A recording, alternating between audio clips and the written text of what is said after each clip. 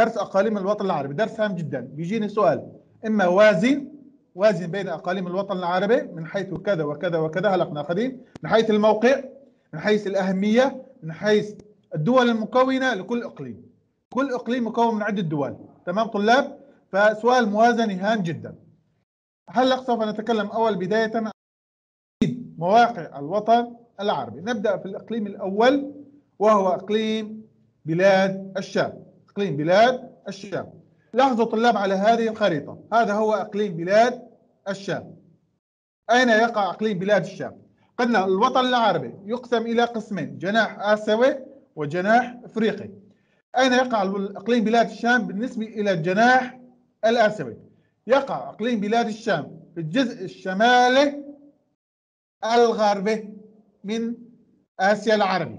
اذا هذه آسيا العربية اين يقع اقليم بلاد الشام في الجزء الشمالي هذه جهة الشمال دائما نحو الأعلى وهذه جهة الغرب اليسار.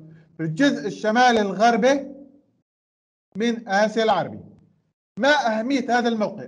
قلنا لكل إقليم آه، موقع اين يقع وما أهمية هذا الموقع؟ هام جدا. ماذا أهميته؟ أهمية جغرافية كبيرة. يتميز إقليم بلاد الشام بأهمية جغرافية كبيرة. ماذا بما تتمثل هذه الأهمية؟ فهو منفذ آسيا العربيه الغربية عفوا والوسطى هذه الغربية يعني إيران أفغانستان تركستان. وين؟ على البحر المتوسط.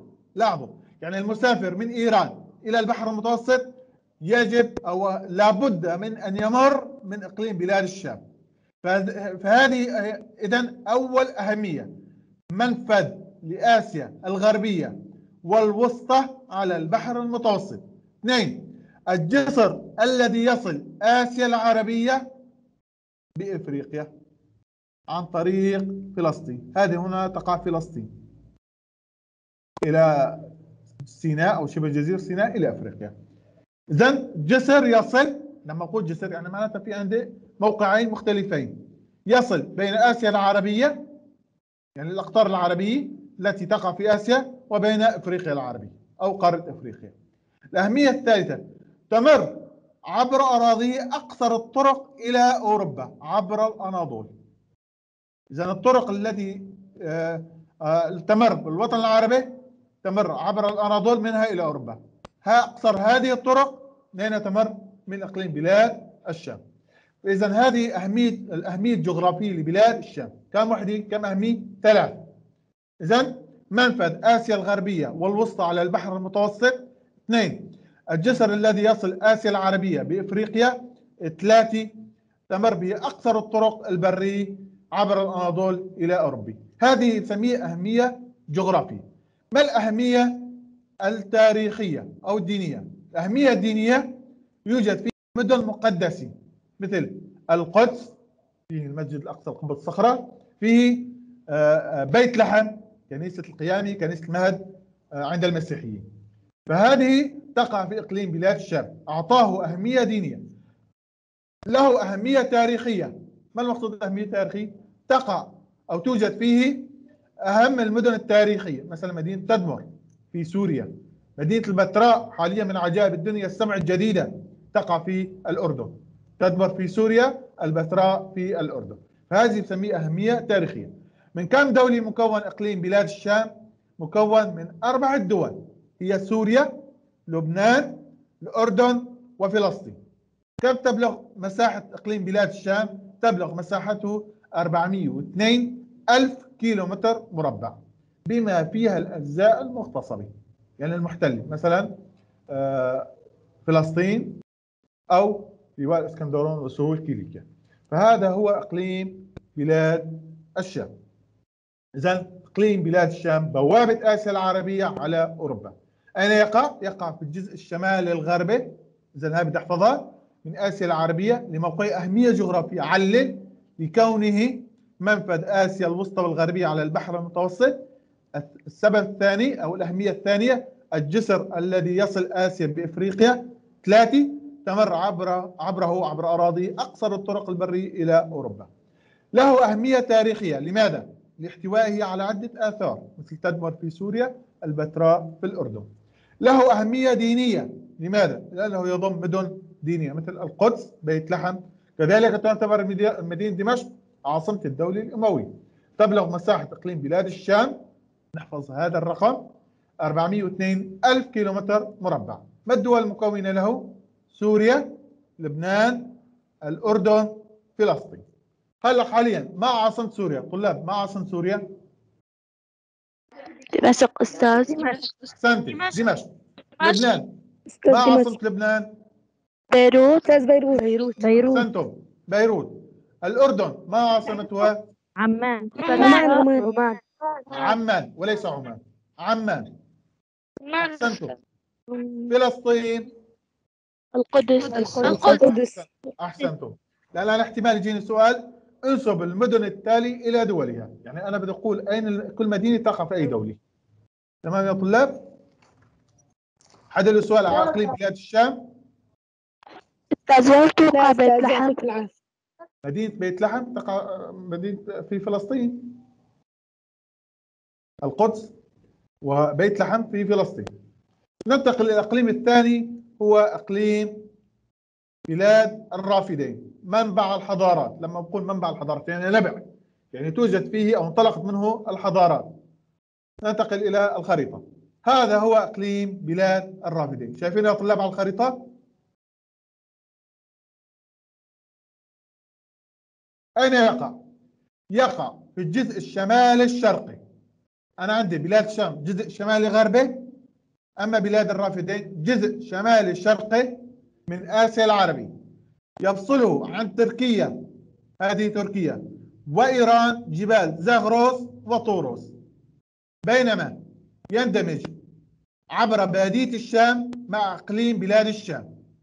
إذا الجزء الذي يصل بلاد الرافدين مع بلاد الشام هي بادية الشام. ويندمج مع إقليم شبه الجزيرة العربية في الجنوب بصحراء. النفوس. يطل على الخليج العربي. هذا هو الخليج العربي. يطل على الخليج العربي. بساحل يبلغ طوله 90 كيلو متر إذا طول هذا الساحل 90 كيلو متر وله امتداد إقليم بلاد الرافدين له امتداد هذا هذا الامتداد يسمى عربستان. يسمى عربستان أو الأحواز وهو محتل من قبل إيران. إذا الإقليم بلاد الرافدين. امتداد هو إقليم عربستان. عندي هون تعليل هام جدا. علل الأهمية الزراعية لإقليم بلاد الرافدين. ال- ال- السبب الأول موقع هذا الإقليم. اثنين مرور. إذا ملاحظين عندي خطين زرق. هودي. نعم مرور. أستاذ بس عيد التعليل. علل الأهمية الزراعية الكبيرة لإقليم بلاد الرافدين. تعليل هام جدا. ليش له أهمية زراعية كبيرة؟ نقول السبب الأول موقعه الهام. إذا السبب الأول ما هو؟ الموقع الهام. مرور نهرين هما دجلي والفرات. إذا يمر عبر أراضي إقليم بل- بلاد الرافدين دجلي والفرات. ثلاثة توافر التربة والمياه التربة الخصبي والمياه. هذه الأمور ثلاث أعطاه زراعي. كذلك له أهمية تاريخية كثرة الحضارات التي ممكن تعيد التعليل؟ علل الأهمية الزراعية لإقليم بلاد الرافدين. نقول موقعه الهام هاي واحد. اثنين مرور نهري دجلي والفرات. آه، ثلاثة آه، توافر المياه والتربة الخصبي فهذا الأمر أعطاه أهمية زراعية. قامت على أراضي العراق أقدم الحضارات التي أغنت الحضارة الإنسانية. مثلا البابليون الأكاديون الآشوريون فهذه الحضارات قامت على أراضي يشغل إقليم بلاد الرافدين دولة واحدة هي ما هي يا طلاب؟ العراق العراق أحسنتي إذا يشغل. بلاد الرافدين دولة واحدة هي العراق ما عاصمتها؟ بغداد بغداد بغداد أحسنت. بغداد. بغداد كم تبلغ مساحة العراق؟ تبلغ مساحة العراق 435 ألف كيلومتر مربع. أيهما أكبر بلاد الرافدين أم بلاد الشام؟ بلاد الرافدين. بلاد الرافدين. تبلغ المساحة؟ مساحة بلاد الرافدين 435 ألف كيلومتر مربع أما بلاد الشام فمساحته 402 ألف كيلومتر مربع فهو أكبر مساحة من إقليم بلاد الشام. تمام يا طلاب؟ هذا هو إقليم بلاد الرافدين. منبع الحضارات يشغل الجزء الشمالي الشرقي من الوطن العربي يفصله عن إيران وتركيا. جبال طوروس وجبال زاغروس نحن هي أخذناها من حدود الوطن العربي. يندمج يندمج في بادية الشام مع إقليم بلاد الشام في الغرب وصحراء شبه الجزيرة العربية في الجنوب يطل على ساحل الخليج العربي بطول 90 كيلومتر. إقليم بلاد الرافدين فقط يطل على ساحل الخليج العربي يطل على الخليج العربي بالجنوب. ساعد موقع الإقليم مرور نهري دجلة والفر- والفرات توفر التربة الخصب والمياه أعطاه أهمية زراعية. أهم الحضارات التي قامت على أراضيه هي البابليون الأكاديون الأشوريون إلى آخره. يشغل إقليم دولي واحد هي العراق عاصمتها بغداد تبلغ مساحته 435 ألف كيلومتر مربع. إذا أخذنا إقليمين يقعان في الجزء ال- أو في الجناح الآسيوي من الوطن العربي. ضل عندي جناح أو قسم أخير هو إقليم. ماذا؟ نحن درسناه سابقا هو شبه الجزيرة العربية. سنتي شبه الجزيرة. إقليم شبه الجزيرة العربية؟ نعم. الموطن الأصلي للعرب. يعني لما بقول موطن الأصلي يعني منه انتقل انطلقت القبائل العربية؟ بسبب القحط والجدب وقلة الأمطار هاجرت القبائل من شبه الجزيرة العربية إلى بلاد الشام إلى بلاد الرافدين إلى مصر إلى آه، تونس إلى آخره. فهو ومنطلق الإسلام. من أين انطلقت رسالة الإسلام؟ من مكة. من مكة. تحدثنا عن هذا الإقليم في الدرس السابق. هو الموطن الأصلي للقبائل العربية. له أهمية استراتيجية. لماذا؟ لماذا يا طلاب؟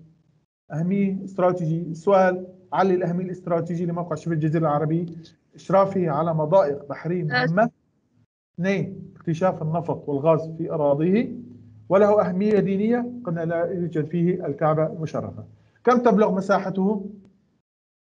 3 ملايين ثلاثة ملايين. 3 ملايين و170 ألف كيلومتر مربع. لاحظوا مساحة كبيرة جدا. إذا 3 مليون و170 ألف كيلومتر مربع. ما هي الدول التي تكون هذا الإقليم؟ كم دولة أنا عندي سبعة. إذا يتكون إقليم. المملكة العربية السعودية. سبعة. نعم من السعودية. ما هي عاصمة السعودية يا طلاب؟ جدة الرياض. نعم أحسنتم. إذا الرياض. الإمارات. دبي نعم. آه، الإمارات. ليست دبي لا. أبو أبو ظبي. ظبي. أبو أبو ظبي. ظبي أبو ظبي أستاذ. أحسنتم أبو أبو ظبي. ظبي أستاذ. الكويت. الكويت. ما عاصمة الكويت. أحسنتم الكويت أستاذ الكويت. نعم. في عندي ثلاث دول عربية. عاصمتها على نفس اسم الدولة. الكويت عاصمتها الكويت. الجزائر عاصمتها. الجزائر. والله صاروا أربعة أحسنت آه، تونس عاصمتها تونس وجيبوتي عاصمتها جيبوتي قطر ما عاصمة قطر؟ الدوحة.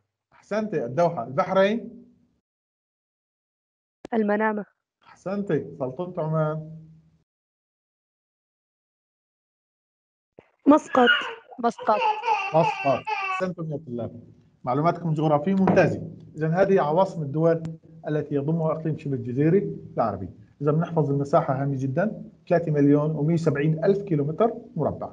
بنحفظ الدول المكونة له مثل أنا مثل ما أخذت لكم بده يجيني سؤال وازن بين إقليم مثلا شبه الجزيرة العربي وإقليم بلاد الشام من حيث الموقع من حيث الأهمية من حيث المساحة من حيث الدول المكونة له واضح يا طلاب؟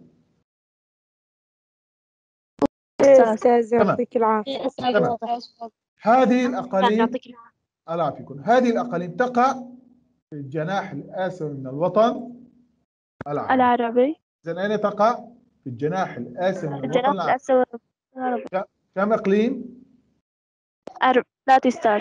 ثلاثة أقاليم. ما هما ما هي ما هي هذه الأقاليم؟ إقليم بلاد الشام وبلاد إقليم بلاد الشام وبلاد الرافدين وشبه الجزيرة العربية. أحسنتم. إقليم بلاد الشام أين يقع؟